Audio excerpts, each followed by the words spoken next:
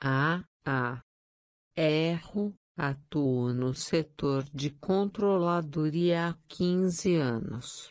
Forma correta. Atuo no setor de controladoria há 15 anos.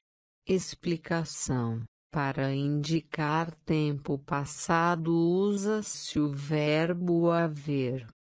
A champanhe, o champanhe. Erro, pegue a champanhe e vamos comemorar. Forma correta, pegue o champanhe e vamos comemorar.